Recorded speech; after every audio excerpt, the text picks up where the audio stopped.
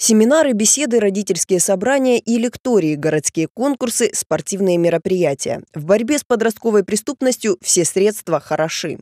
Профилактике правонарушений среди молодежи городские власти уделяют особое внимание. Единого какого-то универсального метода борьбы с этим нет. Здесь э, нужна работа действительно правоприменителей, э, персональная работа с каждым из подростков. Для этих детей главное э, вера в людей, в то, что они не брошены в этой жизни. Поэтому работа многоплановая. К административной ответственности привлекли и тех, кто пропускал уроки в школе. По межведомственной операции «Все обуч» 106 подростков вернулись за партой. Теперь специалисты думают, как улучшить их успеваемость.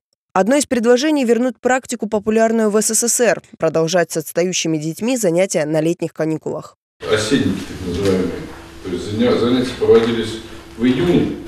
Э, ну, они не перекрутились, поэтому здесь ущемления прав уж никаких нет, да? за год. Вот. Но в июне месяце, высвободившись от учебной работы, составлялось расписание, и с ними там, до отпуска, так сказать, до крайнего педсовета там, по переводу и выпуску все занимались. Э, ребята, так сказать, просто возвращались ну, морально к успешности.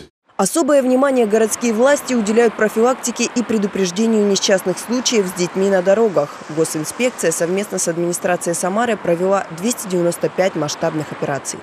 Елена Малютина, Николай Сидоров. События.